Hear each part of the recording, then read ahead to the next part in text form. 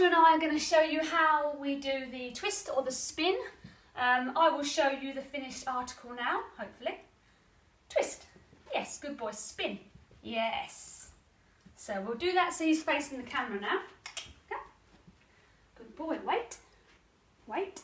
Twist. Wait. Spin. Yes, good boy.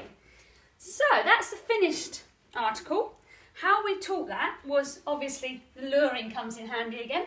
Treat on the dog's nose, take the treat around in a clockwise circle, and as the dog follows it, you put the word in. Twist. Yes, good boy. Lovely. Now don't forget to do it both ways. It's possible to teach both ways at the same time. There's no reason why not. Spin. Spin. Yes, good boy. You've got a much bigger dog than Archer, still possible to do, but obviously slow it down. Hand signal again, treat, sorry, luring, and take him round in a big circle and use the word twist as you do it. And then we'll go the opposite way. Good boy, spin, spin, lovely. So that's a really fun little trick. They tend to pick that up very, very quickly. You tend to find that they'll do that after sort of five or six repetitions and they'll start doing that without the treat.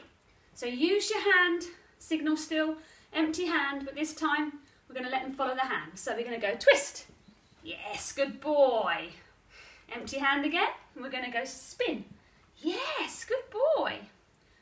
Progress on from that by just using maybe a point, oops, a pointing finger instead. So, twist, Yes, good boy.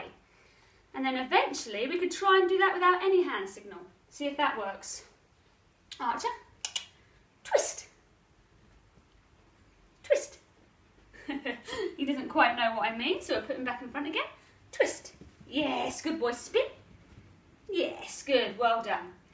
It's a work in progress just with a word alone. But we can go back to using the hand signal again. Wait. Good boy. Twist. Yes. Good. Spin. Good boy. Twist. Spin. Spin.